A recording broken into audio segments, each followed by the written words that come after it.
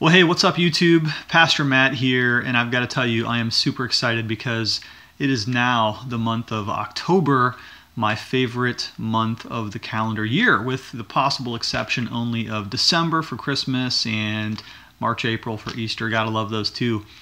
But October is not only my birthday month, uh, but it is also Reformation month, wherein we celebrate Reformation Sunday on the very last Lord's Day of the month of October. And I am particularly enthused this year because, as you may or may not already know, this is the 500th anniversary of Martin Luther's nailing of the 95 Theses to the door of the Wittenberg Church in Germany, thus sparking the great revival that we know today as the Reformation. So I've got my Martin Luther mallet out on my bookshelf. I've got my Martin Luther uh, uh, painting over there beside me on my bookshelf. I may even wear, who knows, the uh, the black gown, uh, the academic gown to preach. Probably not, uh, but who knows? Maybe I will. Uh, a la Martin Luther, the great reformer.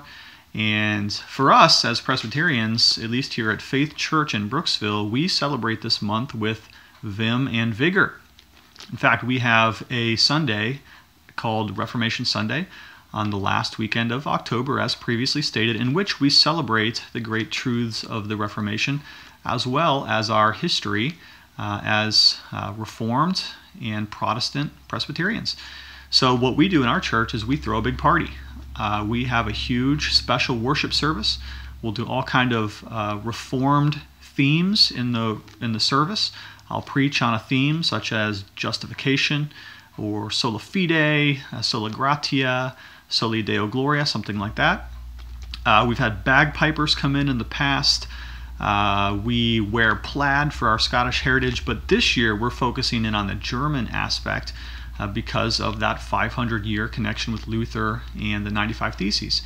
So we're going to go all German this year. We're going to wear lederhosen. That's right. I'll get the suspenders and the, the long shorts and the cap with a feather in it. We'll do that. Not during church. That'll be after. We'll throw a potluck in which we celebrate our ethnic heritage, uh, not only as Germans, but as Scots, as Irish, as Englishmen, as Brazilians, as Africans, whatever it is uh, that we come from. We'll bring ethnic food to the potluck dinner. We usually have a big games competition out in the yard. Uh, in the past, we've called that the Highland Games, kind of a Scottish theme. This year, it's called the Bavarian Games. Same thing, different name. Uh, it'll be great. We'll do that. Uh, we'll have feasting. We're going to have German themed music this year. It is going to be an entire festival, and that is again on October 29th. Well, what do you say is the Reformation and why is it worthy of our celebration? Well, let's talk about that for just for a moment. Uh, the Reformation is, of course, nothing other than the reformation of something, as the name suggests. But the reformation of what? Well, we might start with our own hearts, of course, as Christians. When we experience the grace of conversion, we too, our hearts are reformed after the image of, of Christ, and we, we are justified, and we enter the process of sanctification in which God makes us more and more like unto Himself in, in holiness and obedience.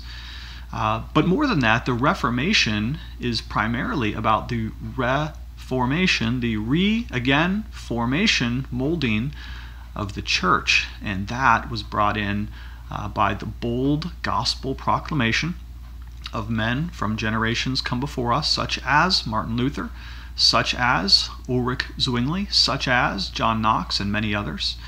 Uh, and essentially, at the very heart, what makes the Reformation the Reformation is a revival and rediscovery of the great biblical doctrines. And there are five of them that are traditionally celebrated because that's what sparked the revival.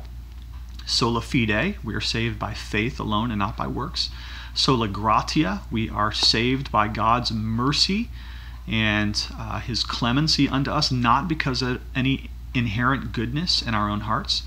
Um, sola scriptura, that scripture alone is our only authority, as over against the accumulating traditions of the Roman Catholic Church. Uh, where are we at? Solus Christus, Christ alone, the only mediator between God and man, and ultimately then soli Deo Gloria, to God alone be the glory. If you believe those things, even if you're not Presbyterian, you can celebrate the Protestant Reformation of the 1500s, and especially this year. 500 years since Martin Luther nailed the 95 Theses to the wall of the church, the door of the church. Never read the 95 Theses? Uh, maybe you should. Uh, Luther's theology was not fully formed at that time. Uh, we still don't know that he had a full and complete understanding of the doctrine of justification that he would uh, develop as late as uh, the 15, 1520. He, his own theology was certainly in formation during the time that he uh, posted the theses, but nevertheless, they stand as a marker in history, a delineator between eras, a watershed moment in which Protestantism begins in full uh, vigor and power, continuing on even to today. If you're an evangelical, you have some uh, heritage that roots back to this great event. So, what can you do about it, believer? Uh, well, first of all, celebrate Reformation this month. What a glorious time. Second of all, let me recommend a book to you that we're going to read as a church at Faith Church here in Brooksville.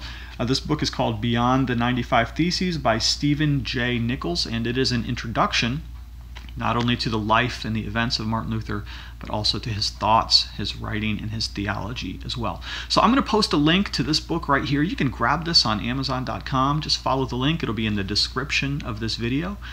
Uh, but most of all, attend a Bible believing, gospel preaching, preaching, protesting, which means forward testifying church this month, and especially on Reformation Sunday. All right. Well, hey, that's all I've got for you today. Love you lots. Can't wait to celebrate. If you're in the area, please come to our church on October 29th. Uh, talk to you later. Thanks for checking in. Have a great day.